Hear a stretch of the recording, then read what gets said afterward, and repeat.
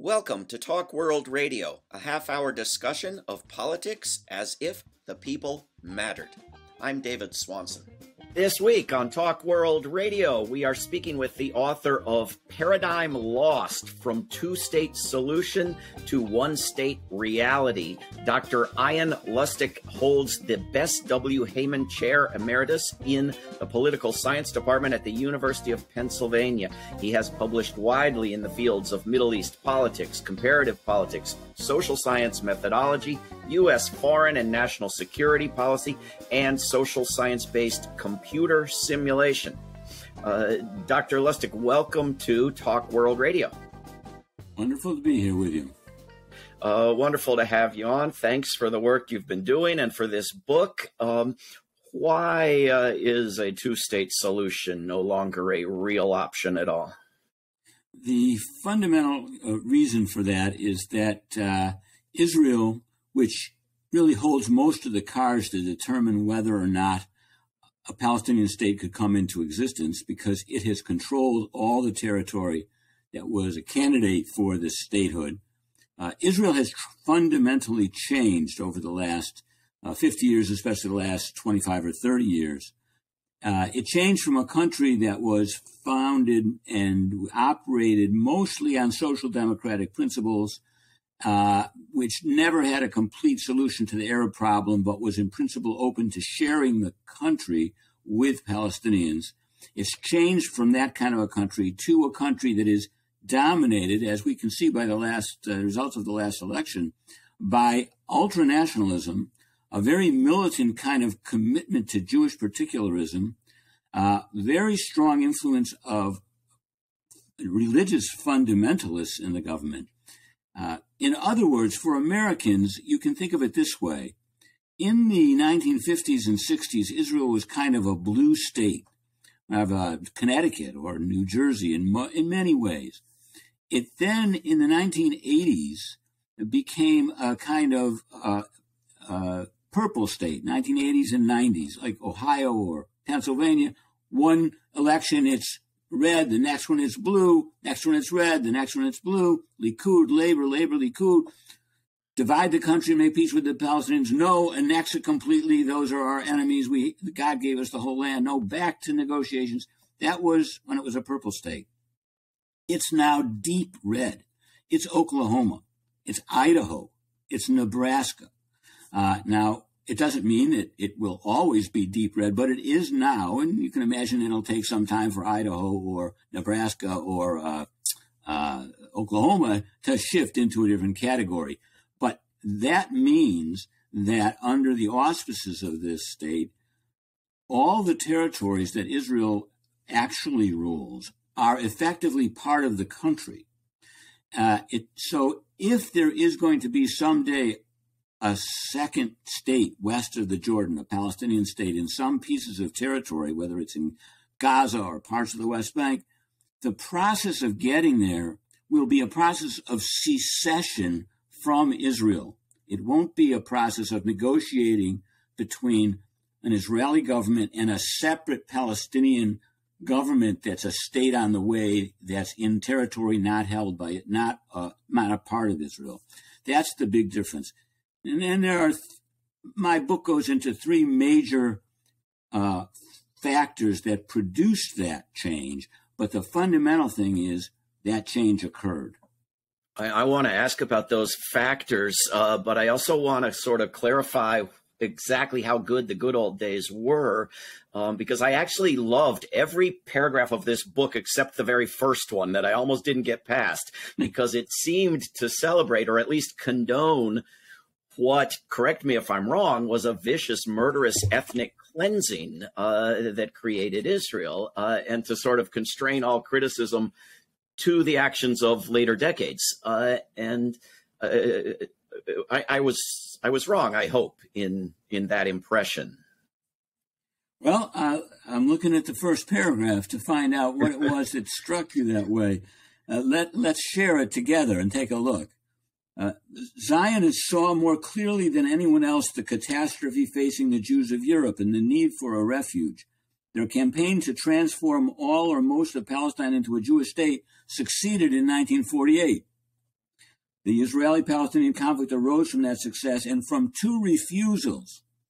The first, when Israel that's, refused that's to allow three quarters of a million Palestinians to return to their homes, created the Palestinian refugee problem, and ensured deep and continued challenges to its peace and security.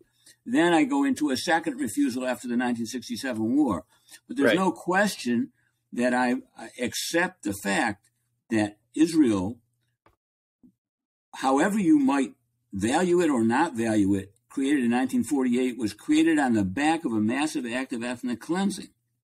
That was without without the displacement of three quarters of a million Palestinian Arabs during the war, there would have been an equal number of Arabs and Jews in the state that the UN created.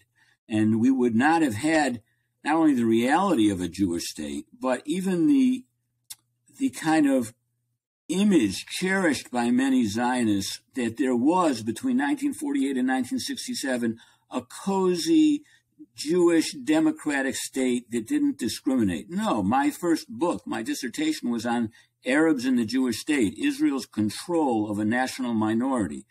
Uh, thanks to the expulsion, displacement, and exclusion of the Palestinian refugees, Israel had a minority starting in 1948 of about 15%, now 20% uh, Arabs. It would have had a minority of 40 to 45% had that not occurred. And Israel used a military government to rule those people. They formally had citizenship, but they were very constrained. What I'm now saying is that after 50, uh, well, after 75 years, we see that, that Arab population, not because any government in Israel ever intended it, become a crucial player in Israeli politics. No, uh, the, the, the reason there was a government until recently that was not as extreme as others is because it could only be formed by including Arabs within it. The reason we're looking at the possibility of an unprecedentedly, openly racist government being uh, arising in Israel is because Arabs are excluded from it. And now we see what's left of the Israeli left searching for ways to build an Arab Jewish party that effectively will not be Zionist.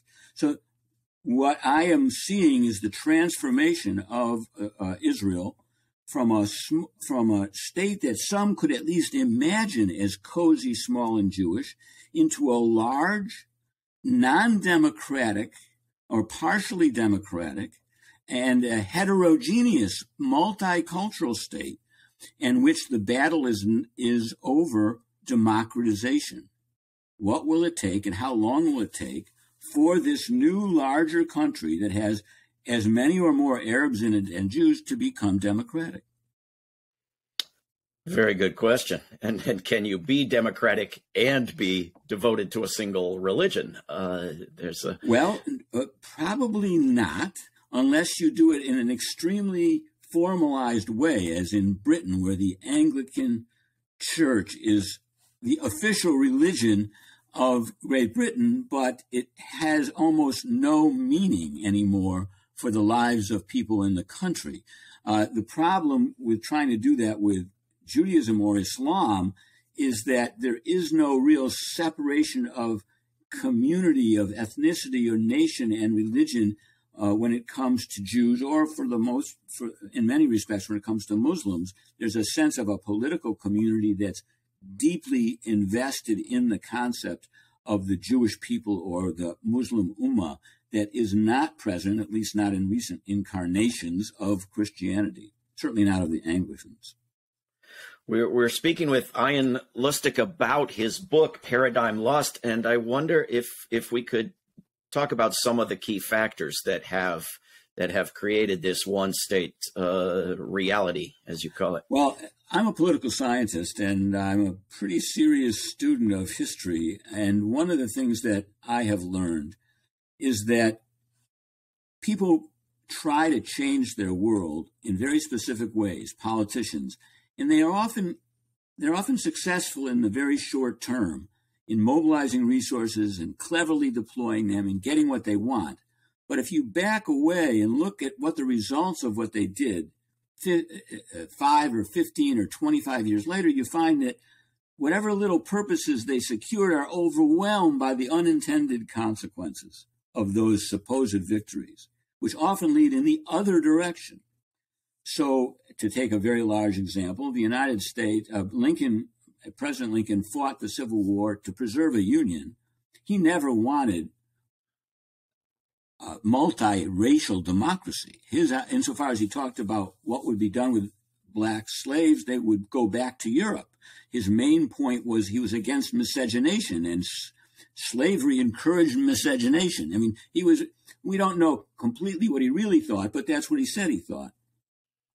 But the result of a Union victory and the end of the occupation of the South was eventually, through Jim Crow, through a racist Democratic Party, eventually a situation where Democrats couldn't get elected without securing black votes, which helped them get, encourage them to protect voting rights for those that they never wanted in the country. Now, that kind of thing also explains how women get the vote, and there was never any plan uh, to do it, no agreement, no negotiations between uh, men and women to come finally come into a, an agreement. It was because some men wanted thought they could get women's support against other men, and women were demanding the vote. And uh, this is the unintended consequences of democracy. So, what do we see in Israel with respect to this? We see three things.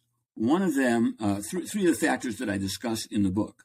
One is de facto annexation that the right in Israel has, from the 1967 on, sought to embed as many Jewish settlers in the West Bank and East Jerusalem and, uh, and Gaza and Golan as possible to make it impossible for any government to divide the country and to create a, a Palestinian state, a two state solution, or any kind of partition based solution. The result of that effort has been successful. There are 700,000 Jewish settlers over the old armistice line. Back in the 1970s and early 80s, when I first started working on this problem, people said that there was a point of no return if there would be 100,000 Jews over the line. Israel would never be able to leave. That would be end of the Palestinian state. And people said that all across, right wingers, left wingers. That was 100,000. It's now 700,000. And we will ask, hopefully we'll have time to talk about why do some Israelis still pretend, still talk about it as if that doesn't matter. But we have to do it. We have to get a state fast because pretty soon it'll be too late. But they, this is exactly what they were saying 50 uh, in, in 1980.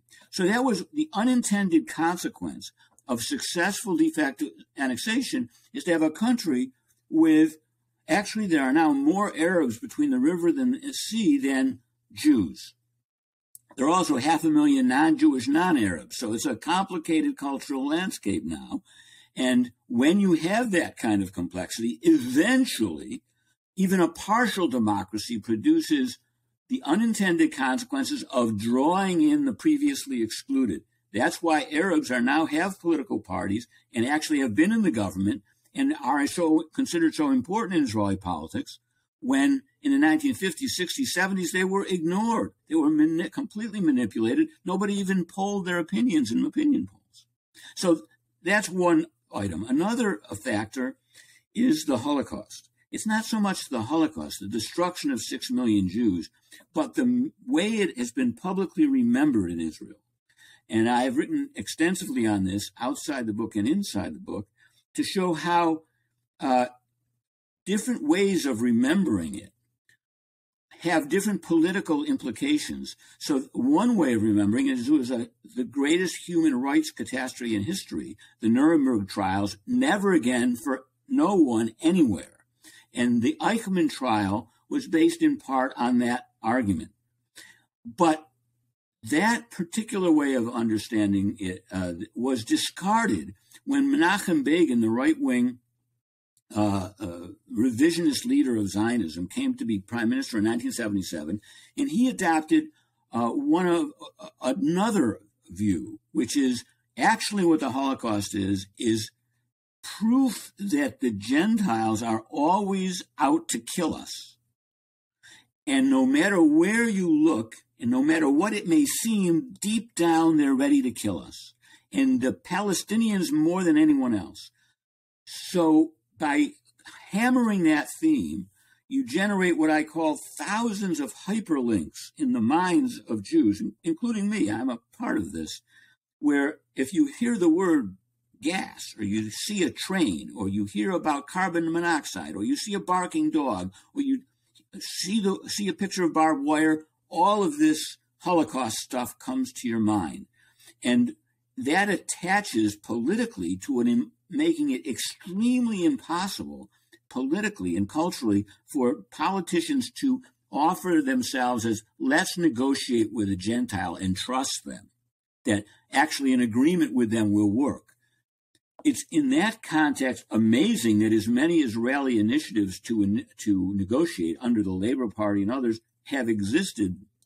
That's really actually much more amazing than none of them worked because of the unintended consequences of a of what for Begin was a a very savvy political ploy. Uh, although he personally felt that way, he was traumatized by the Holocaust himself. Now, the third re- the third factor will be perhaps most interesting to your audience, audience to our audiences, because it has to do with the United States and it has to do with a huge unintended consequence. American Jews felt guilty about not being able to do very much at all to either stop the Holocaust or save Jews from Europe. When Israel was created, they essentially made a deal with Ben Gurion saying, don't, we will not move to Israel and you will not keep telling us we have to move. And in return, we will give you money and political support. And so they founded the, what the Israel Lobby, incarnated mainly by an organization called AIPAC, American Israel Public Affairs Committee. And in the context of American politics, the particular way the founding fathers set up our government, a single issue movement that's only devoted to one thing, to Israel's interest, and to whatever the government of Israel says, AIPAC was able to achieve more power than any lobby in the United States, except perhaps the NRA or AARP, and probably more. Uh, what that meant is that successive American governments, and I was in the government in the Carter administration, who wanted to pressure Israel, starting back with Nixon, wanted to pressure Israel toward a sensible agreement before it, were, uh, it was too late with the Arabs, were prevented from doing so because their domestic advisors always said, if you do this, you will lose crucial support in the Congress and probably lose the election. And since no one really voted in for their congressman because they wanted to pressure Israel, Carter, Ford, Nixon, uh, uh, Obama, even in his second term, uh, the Bush Bushes all backed away from things that they wanted to do. What was the re- unintended result of this? From AIPAC's point of view, they had secured an amazing victory. Israel's friends were always in charge. And uh, from in Israel's point of view, the right wing thought, well, there's nothing easier than manipulating the United States. That's actually a quote in the book. But what was the unintended result was that Israeli politicians that could have won elections based on the idea that we have a moderate, pragmatic way to solve the Arab Israeli conflict, and the United States will support us. And if we don't do it, the United States will pressure us, so we'll lose more. There, they were always shown to be wrong. Shulamit Aloni, Yossi Sarid, Chaim Ramon, all of these wonderful politicians flushed down the political toilet because the United States uh, uh, ended up producing a cocoon around Israeli democracy that made it impossible for Israelis to feel the future consequences of their uh, extreme positions that they took on settlement and toward the Arabs. So that unintended consequence of AIPAC's success was to make Israel, to deflect it into a very right wing incarnation of itself, much more right wing and extreme than it would have been had AIPAC not been as successful as it was. I just finished this with one point, which will be striking. There are two, there are two issues in international politics, and only two, where the United States for 50 years has been three to four uh, uh, degrees of separate uh, uh, uh, distributions away from the, the norm, away from the international norm, way over to the side. What are they? One is Israel. 145 countries vote one way, and the United States, Samoa, and Israel vote another way. What's the other issue? Cuba. The United States and Israel are the only countries that voted to maintain the boycott against Cuba, even though those are the two countries that oppose boycotts against Israel. What explains, what's the similarity between Cuba and Israel as issues in American politics? Is that they both are identified with powerful, domestically crucial single issue movements the Cuban lobby, especially in Florida, and the Israel lobby, AIPAC. That shows you everything you need to know about how a small fact about American politics leads to this massive outcome unintendedly uh, in Israel. So Israel and AIPAC having turned the United States into this disastrous uh, force for Israel, uh, and having turned domestic opinion within Israel uh, into such hateful bigotry toward Palestinians, uh, and having built all these settlements and having created all this polarization and segregation and uh, these are all factors that weigh against a two state solution, but none of them seem particularly good for a one state solution either, do they? All right. So, one of the things you'll notice about the title of my book is it's not from two state solution to one state solution. It's from two state solution to one state reality. Now, I struggled for decades outside of my role as a scholar for a two state solution. And what did I mean by that? I meant a prettier picture of the future that I know how to get to. I know it with a little American pressure, left wing victory in American elections, moderates continuing to control uh, uh, the center of gravity among Palestinians, and a negotiated solution supported by the Arab world that had endorsed it and Europe. And I think that looking back, uh, Oslo was something I predicted would occur. It had a probably by that time, with a couple hundred thousand settlers in the West Bank, only a 20 to 25 uh, percent chance of, of actually succeeding. But I had a solution in the sense that I had a pretty picture and I knew how to get there. I knew a reasonable way to get there politically. Now I can generate all kinds of pretty pictures for, for the future including two states. I can imagine in my mind, or cantons, or a federation, or a confederation, or a one state for all its citizens. My trouble is I can't say any particular way to get there in reasonable amount of time. So I don't call it a one state solution, but it is one state. People said it was impossible to have a one state. No, we've got one state. It's just not a democratic state. It doesn't mean it can't become democratic. And for that, we have to look and see how states that are partially democratic, South Africa before uh, during apartheid, or the or most industrialized countries when women were excluded from the vote, or the United States before blacks had real political rights, or Britain before the Irish were allowed to vote, uh, in uh, uh Irish Catholics in the mid 19th uh, century. We we know that those processes take a long time and are not things that are planned and don't occur through negotiations. So we have a one state reality that incubates new possibilities. There are also very bad possibilities it incubates. We've seen in all the countries I mentioned horrible oppression, sustained coercion, violence, slavery, and so on. But now, hopefully, we're living in a world which, for all the struggles of with authoritarian populism, liberal democratic norms can win out internationally. And if they do, Israel will be living in a world which, over the decades, it will find very difficult to resist uh, the principles of democracy from working inside itself.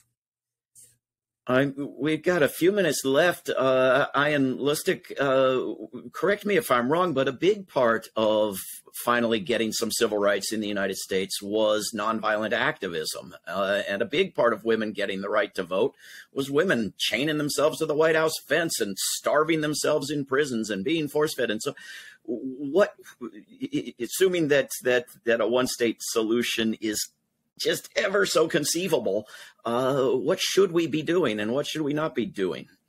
Well, I think that one thing to do, first of all, we are seeing that. I mean, among Palestinians for decades, there have been just resistance and planting olive trees and trying to protect their farms and semi-violent resistance with, with stones, even with Molotov cocktails, and of violent resistance with guns and knives. And it was a recrudescence of that. There's, uh, we also see, as I mentioned earlier, a Jewish Arab uh, coalescing uh, trying to leverage the fact that moderate Jews will never get power again unless Arabs are fully emancipated. In East Jerusalem, there are 330,000 Arabs who have the right to vote in Jerusalem elections but are not citizens of the country.